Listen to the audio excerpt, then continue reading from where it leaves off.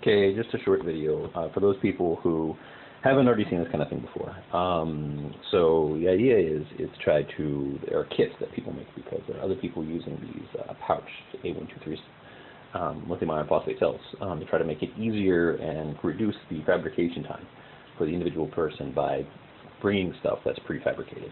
One of the first big time savers is these two little pieces. So you have the aluminum clamping blocks that are already cut to size, already pre-drilled, and already pre-tapped. So that alone is an enormous time saver. Now the other thing you may have noticed that if you saw like the way Mike built his is that after he put those on, he then had a, uh, a board um, that went on the on the front to uh, to attach.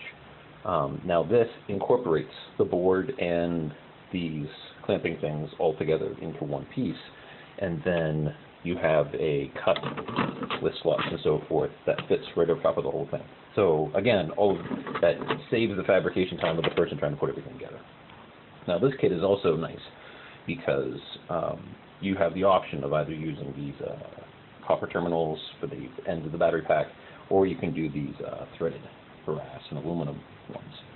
The other thing that this does is that on the back side you have the traces.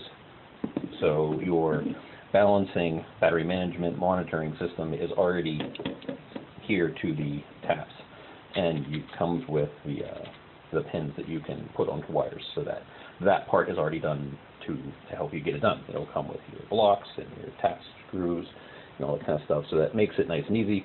And this one has been, and this is a uh, 24 cell by the way. Um, they it's been tested up to um, over 210 amps um, with no real issues. So um, that's that's nice. It's durable, and it's you know proven itself from other people who use it in bicycle app, in electric bicycle applications, which have some relatively um, hitting potholes and so forth. So it's going to have some strain and so forth in that sense.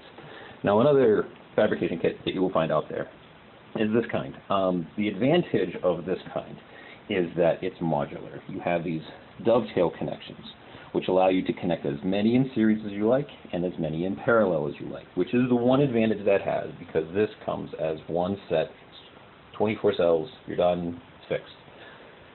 Now, that having been said, if you get frustrated or you're just not a little patient, you know, not patient enough in taking the uh, dovetail um, connections apart, this is what will happen. It will, the, the, uh, the material will snap. It is not very strong. Um, so it won't take that.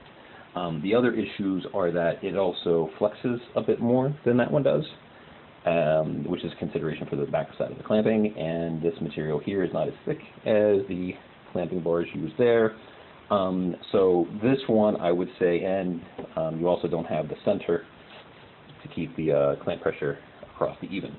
So because of that, I would say that this one, if you're going to be maybe about a third of the amps of this one, so um, well, that one has been tested, you know, over 210 amps. If you're going up, you know, 60 or 70 amps, this one will probably be fine too. Um, but those are some other considerations, and it doesn't come with the cover. It doesn't come with your battery connection terminals. So there are some disadvantages of it. The other one that is, you know, it may work for some other project, but it won't work for my insight is the width. These are both for 20, 24 cells. But you'll notice this one is much wider. It, that extra width makes it unusable for my application, even if I didn't have a problem with the lower amperage and so forth, which itself also would be a deal breaker for my application because I need higher amps and being able to do over 210 when I only will need 100 is a nice safety buffer and it won't be a problem.